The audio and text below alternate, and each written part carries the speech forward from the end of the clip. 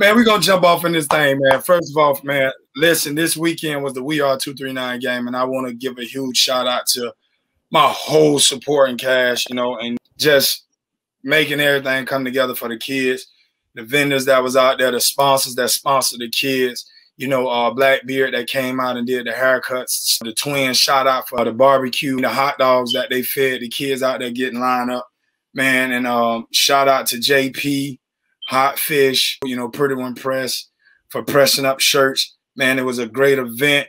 Terry Lindsay, shout out, man. You always number one, one of our number one supporters.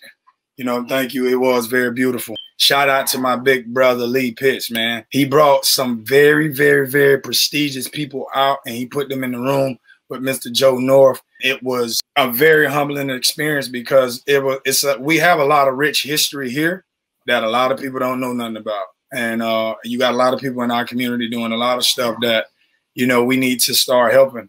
Oh, gee, what's good, baby? You were out there, man. You had an opportunity to get some interviews with the kids and experience. You know, we were, as always, servants out there. Rattle off, G. What, what, you know what I'm saying? How you felt out there, bro? I, I, I feel like it was probably the best event Big Dreams has had so far. It was a great turnout from the city.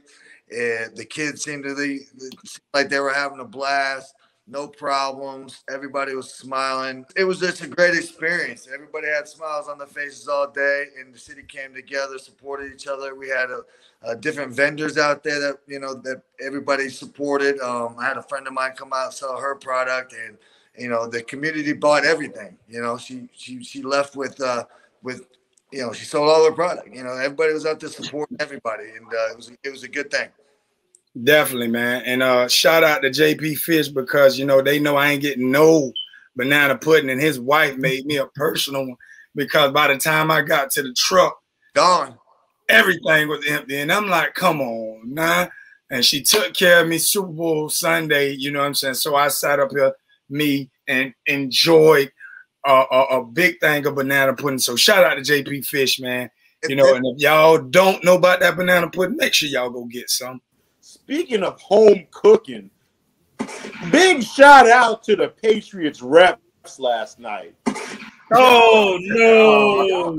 Oh no! Hey, listen, listen. Hey, they had okra, they had beans. Come on, come beans, on, Triple Black, come on, man. You want to talk about hey, and they even had some some um some Coach Patterson possum out there. That home cooking was out there. Come on, come on, Triple Black everybody coming together, you know what I'm saying, enjoying, you know what I'm saying, the talent and being able to, you know what I'm saying, help these kids along the way. Uh, you know, on you were out there firsthand. You yeah. know what I'm saying? So you you learned a lot. You feel me? You've been there from the beginning, so you know how it feels. It it came a long way, that's for sure, from the first things we ever done before. This one, this one's moving. On top of that, the football was amazing. The yes. out the games, the, the the football was was prime time. It right. Was, you know, the game they, they they they were out there balling. It was fun to watch. Yeah. So Most definitely. And one of the biggest things is, you know, we didn't get to do what we really wanted to and how we wanted to, you know, with the draft.